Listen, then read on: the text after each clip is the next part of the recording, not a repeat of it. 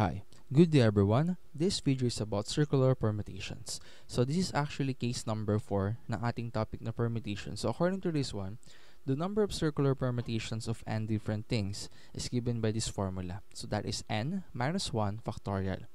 Okay, um, yun yung pinaka-simple formula na meron tayo. For example guys, um, let's say we are asked to arrange 5 set of letters A, B, C, D, and E. Okay? So, I have here two set of figures wherein in-arrange ko yung A, B, C, D, and E into circular form. So, actually, yung first tsaka second figure natin is same lang. Okay? They're actually the same. Why? Yung value ng A natin, tignan nyo, yung value ng A is sumusunod palagi sa B. Okay? Same sa ating second figure, yung A sumunod sa B, and then B lies between A and C. So, same din sa pangalawang figure natin. In short, pa, pag pa-counterclockwise tsaka clockwise, magkakasunod yung ating mga letters A, B, C, D, and E.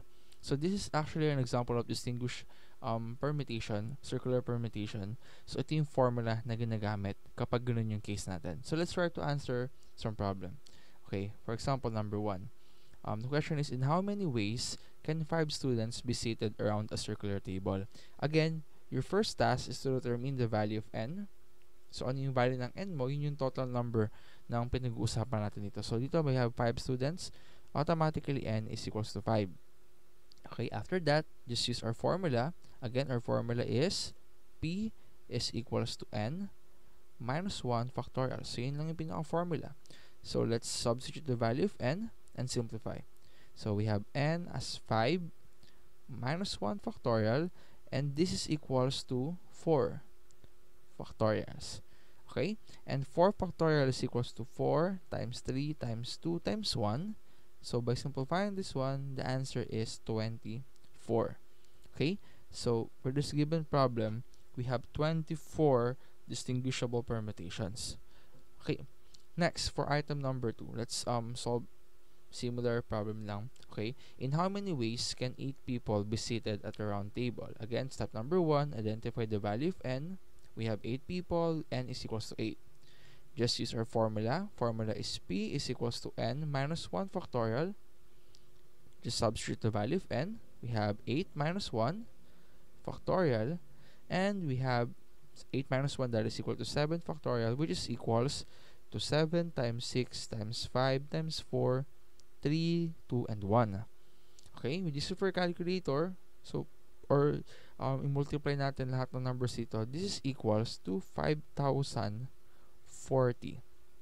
Okay, so that is the value of 7 factorial or 7 times 6 times 5 times 4 up to 1. Okay, we have 5,040 ways. Okay, so ganyan kapag distinguishable yung ating problem. So again, if the counterclockwise and clockwise orders can be distinguished, then we will use this given formula. Okay? Kapag distinguish siya. Now, let's try to answer this problem number 3. Okay? In how many ways can 5 keys be arranged in a key ring? This is actually yung, yung second concept natin. So, again, if you want to use the previous concept, which is circular permutations, wherein kapag distinguishable yung ginamit natin, again, your first step is to determine the value of n, we have 5 keys, n is equals to 5. Okay?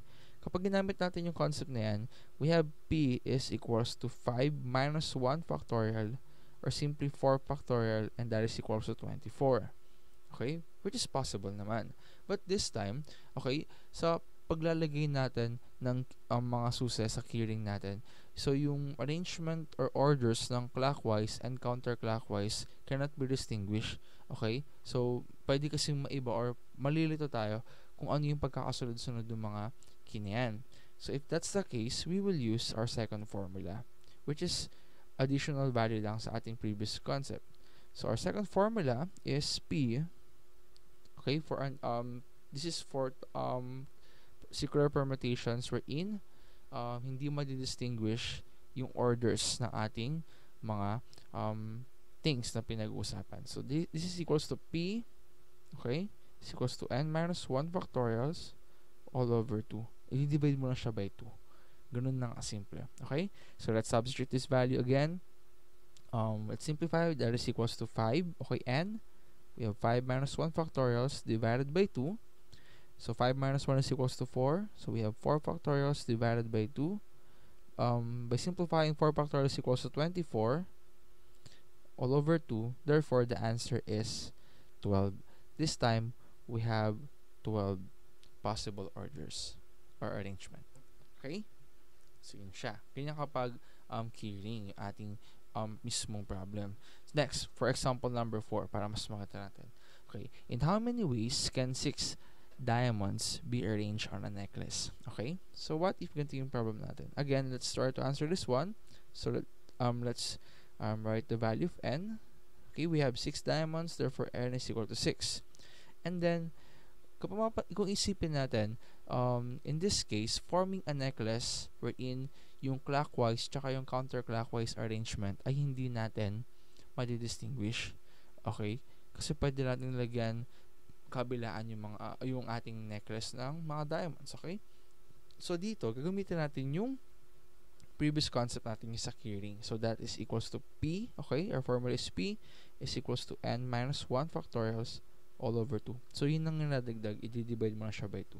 So by simplifying this, okay, this is equals to 6 minus 1 factorials all over 2 and 6 minus 1 is equals to 5 factorials all over 2 so 5 factorial is equals to 5 times 4 times 3 times 2 times 1 which is equals to 120 divided by 2 therefore we have 60 okay ways for this given problem Alright, so that is circular permutation. Thank you so much and God bless.